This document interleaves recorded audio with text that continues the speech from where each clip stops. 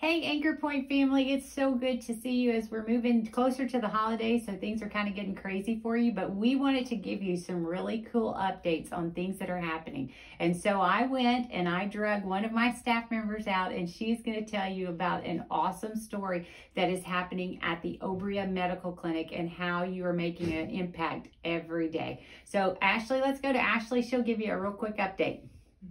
Hi, yes, we had a sweet young girl come in and she was just very undecided of what she wanted to do and very much considering wanting to have an abortion and not carry. And we were able to love on her. She had her ultrasound and she still at that time just wasn't sure what she wanted to do. And we were able to see her back in a couple of days and had another uh, ultrasound and still she just did not know what she wanted to do. And we were able to get her back in for a third visit. And y'all, she chose life and just praise God. We're so excited happy for her, able to see the heartbeat, and we're just so glad that this was the choice that she decided to make.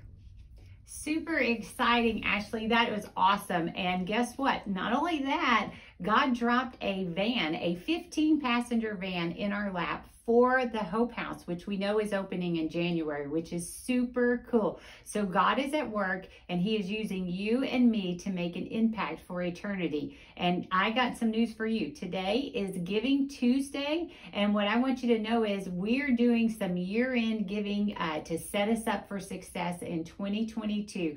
And the first thing we have is Marathon uh, Petroleum has agreed to do a $5,000 match, dollar per dollar. Anything that you give today will go toward that match and it will help us furnish the, uh, the maternity home so that we can get that all ready for the girls in January. So we appreciate you guys. We love you guys. Um, I'll have some other great um, updates coming up, but God's at work and we love partnering alongside of you. See you next time.